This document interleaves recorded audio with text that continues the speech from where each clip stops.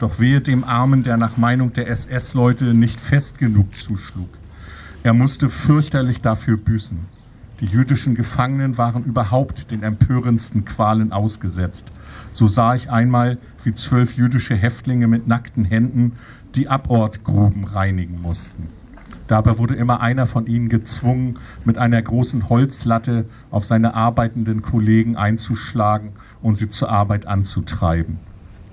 Am 11. November sahen wir, wie der schon fast taub und blind geschlagene mühsam auf dem Hof seine Freistunde verbrachte. Da mühsam zu schwach war, allein zu gehen, stürzte ihn ein Mitgefangener, ein gewisser Levin.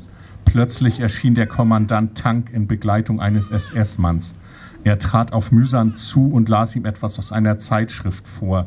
Mühsam nickte mit dem Kopf, dann entfernte sich Tank. Bald darauf erscholl der Ruf Fenster zu. Das war das Zeichen, dass die Luft rein war und die SS-Leute nun tun konnten, was sie wollten.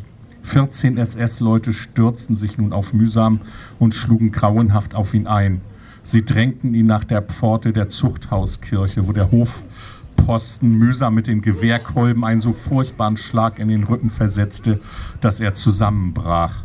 Man hörte nur einen einzigen Stöhnlaut. Mühsam schrie nie. Selbst als man ihm beide Daumen brach, gab es nur ein unterdrücktes Stöhnen. Dabei handelt es sich um eine Episode, die nach Zenzels Angaben ein paar Tage früher stattfand. Erich hatte ein Gesuch eingereicht, an seine Frau schreiben zu dürfen. Als er später im Hof spazieren ging, erschien plötzlich ein SS-Mann mit dem russischen Hakenkreuzler Dimitrev. Dieser sagte zu ihm mühsam, gib mir mal deine Hand. Als Mühsam sich weigerte, gab ihm der SS-Mann den Befehl, Dimitrev die Hand zu reichen. Darauf ergriff der Schurke seine Hände und brach ihm beide Daumen aus den Gelenken. Nachdem er diese Heldentat vollbracht hatte, sagte er höhnisch, so, jetzt kannst du an deine Frau schreiben.